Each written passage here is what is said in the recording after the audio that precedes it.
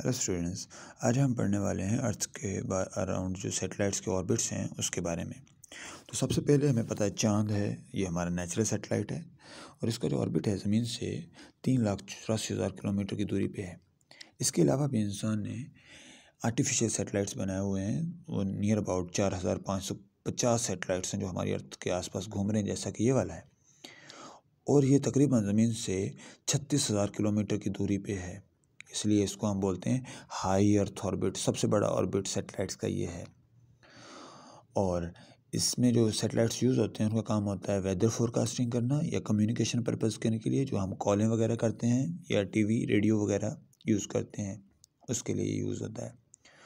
दूसरे नंबर पे आ जाता है मिडल अर्थ ऑर्बिट।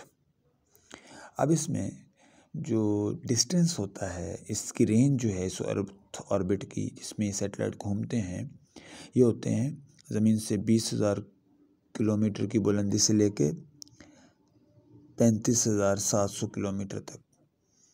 और इसमें जो भी ऑर्बिट्स मूव करते हैं, जो सेटेलाइट्स मूव करते हैं, उनका पर्पज़ होता है नेविगेशन करना, किसी स्पेसिफिक एरिया की निगरानी करना। फॉर एग्ज़ाम्पल अमेरिका वगैरह या और कंट्रीज़ हैं, वो किसी दूसरे कंट्री के ऊपर उन्होंने पाबंदी लगाई है कि वो न्यूक्लियर पावर प्लांट पे काम नहीं कर सकते तो उनकी देखभाल या उनकी निगरानी इस मीडियम अर्थ ऑर्बिट वाले सेटेलाइट से की जाती है और इसकी स्पीड काफ़ी तेज़ होती है ये। बारह घंटों में ज़मीन के गिर्द एक चक्कर लगाता है तो मतलब दिन में दो चक्कर लगा लेता है। फिर सबसे एंड पे जो सबसे डाउन वाला ऑर्बिट होता है, जिसमें सैटेलाइट्स छोटे छोटे मूव करते हैं, इसको बोलते हैं लोअर अर्थ ऑर्बिट।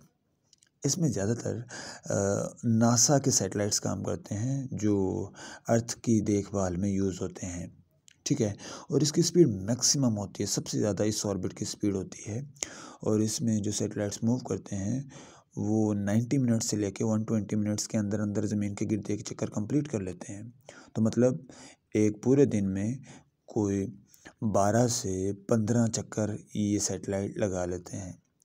तो उम्मीद है ये बातें आपको समझ आई होंगी, अगर इसमें से किसी की बात समझ नहीं आई you can ask in comment box और अगर आ गई है तो उसको लाइक करें शेयर करें सब्सक्राइब करें। और ये हमारा नेचुरल मून है, ये तो पता ही है कि अट्ठाईस दिन में चक्कर लगाता है तो इसकी स्पीड सबसे स्लो है।